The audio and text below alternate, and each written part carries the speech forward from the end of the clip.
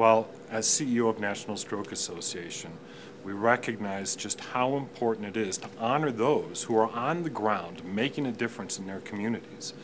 It's so important that all of us work together across the country to truly make a difference in raising stroke awareness.